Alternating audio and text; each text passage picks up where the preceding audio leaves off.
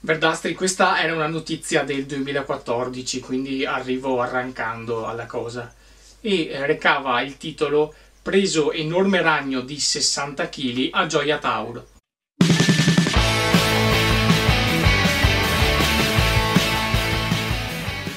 Non è semplice pensare al fatto che alcuni possano credere a una notizia del genere però visto la, il tam tam che si è verificato sui social, eh, indubbiamente qualcuno ci crede, anche perché queste cose giocano sui grandi numeri, quindi è inevitabile che una persona, ma io credo molte di più, caschino nel, nel, gioco di condividere, vuoi perché è una cazzata secondo loro o vuoi perché ci credono sul serio. Ma veniamo all'articolo. A Gioia Tauro è stato catturato un esemplare di Tarantola Golia, Terrafosa blondi, e, e, qui almeno usano un, uh, un, un, nome specifico vero e riscontrabile ovunque. Ragno di origine sudamericana, raramente segnalato in Italia.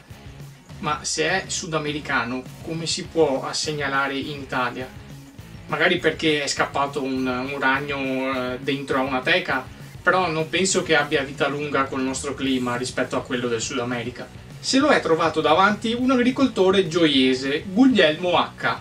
Adesso io non conosco i cognomi presenti a Gioia Tauro, però un cognome con la H, oddio, potrebbe esserci, però boh.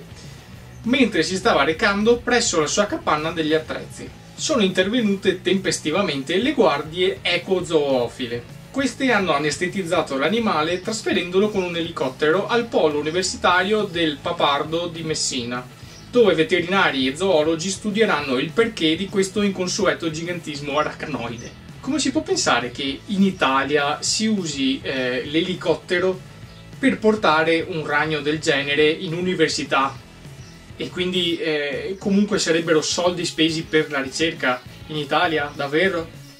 Non lo so. Un grosso spavento per l'anziano imprenditore agricolo che, appena ripresosi dal principio di infarto, ha così commentato l'accaduto.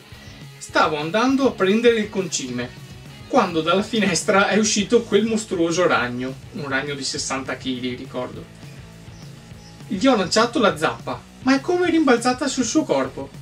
Per fortuna mio figlio Peppe, eh, grande Peppe, ha mantenuto la calma ed è riuscito a chiamare il pronto intervento. Non dimenticherò mai, ha proseguito il signor Guglielmo, lo spaventoso sibilo che usciva dalla bocca di quell'essere. Qui siamo veramente arrivati a un film di serie Z. Gigantismo arachnoide. Zappa che rimbalza sul, sull'essere. Sibilo che esce dalla bocca. E poi leggiamo. Il Terafosa blondi è il più grosso ragno del mondo, spiega il naturalista napoletano Danilo Baragozzo. Il corpo misura fino a 150 cm Sapete quanti sono 150 cm? Un metro e mezzo di ragno. E poi ci sono le zampe. I 150 cm sono solo del corpo, non è il leg span. Quindi non so che razza di roba sia. In totale può arrivare al peso di almeno 60 kg. Sono proprio i particolari che contribuiscono a rendere verosimile la storia e a dare un, una parvenza di autorevolezza però il nome di questo naturalista non è riscontrabile sul web. Cercandolo su Google e su Facebook, su Facebook non c'era, non ho trovato nulla. Su Google si trova il nome di questo naturalista eh, in molti altri siti, sempre con questo articolo, e sono siti di dubbia attendibilità. Come si faccia a dare attendibilità e soprattutto autorità a un naturalista che parla di un ragno di 60 kg proprio non riesco a capirlo. 60 kg sono decisamente troppi per un ragno, come anche i 150 cm di dimensione del corpo. Io credo che non esistano nemmeno fossili di questa grandezza per un ragno. E perché poi dovrebbe essere spuntato proprio in Italia? Io l'avrei visto più un, un essere da America, Cina, Giappone, Asia comunque.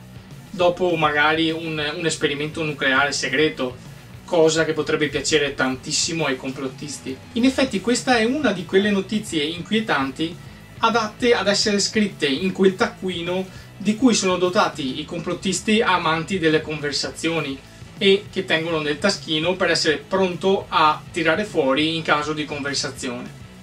Ho concluso Verdastri.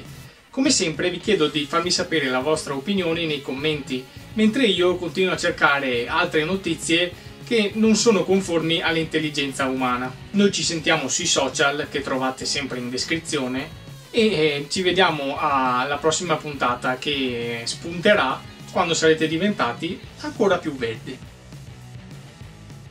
L'articolo comincia così. È arrivato sulle nostre coste dall'Africa, sicuramente agevolato dai continui sbarchi, l'insetto più velenoso al mondo che rischia di distruggere un intero ecosistema e che ha già mietuto le prime vittime.